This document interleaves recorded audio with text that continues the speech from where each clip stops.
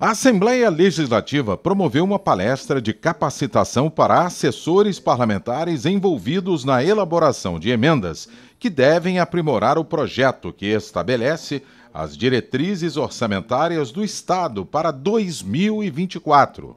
A LDO entrou na pauta de discussões do plenário nesta semana e, por isso, a Consultoria Especial de Assessoramento Financeiro e Orçamentário da Presidência da Alerj realizou a reunião com os funcionários dos gabinetes dos parlamentares. A Assembleia Legislativa teve quase 46% de renovação na atual legislatura.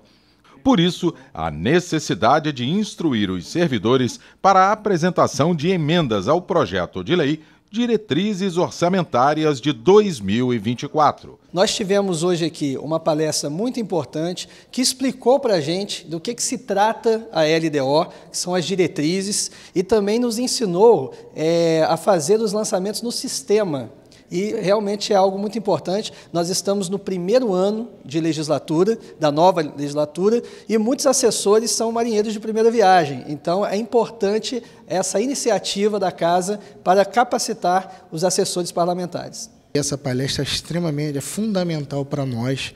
Somos marinheiros de primeira viagem, né?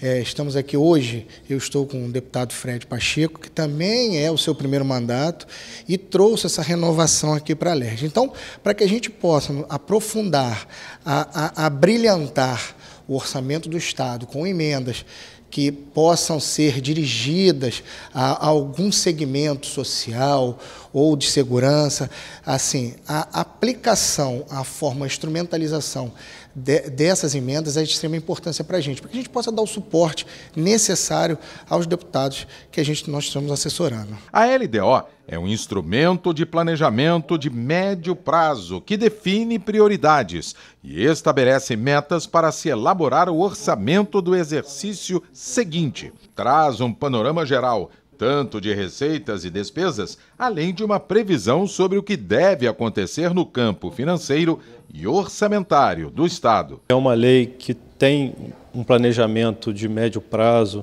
prevê, de certa forma, receitas e despesas que vão acontecer no próximo exercício e nos outros dois seguintes também. Então, a importância de que os assessores compreendam né, o quanto essa lei é relevante para o Estado, esse projeto é relevante, e também o processo legislativo por qual ele vai passar, está passando no momento. É interessante que todos os assessores tenham esse conhecimento. Através da LDO, o gestor público sabe o que vai ser investido nas secretarias, como saúde, educação, segurança, ciência e tecnologia e demais áreas tudo em benefício da população. Essa lei de diretrizes orçamentárias traz uma visão mais ampla, né? para que justamente esses investimentos que, que você citou, em saúde, educação, transporte, segurança pública, é, desenvolvimento social, todas essas áreas sejam contempladas na lei orçamentária anual, que, como eu disse, será é, elaborada com base na LDO. Por isso a importância da LDO, né, para que ela seja realmente um instrumento balizador da elaboração da Lei Orçamentária de 2024. Por ser uma previsão constitucional, a LDO faz essa projeção para os próximos três exercícios para que o gestor tenha em mente os desafios que terá pela frente e se prepare para que as contas fiquem equilibradas e as metas sejam atingidas.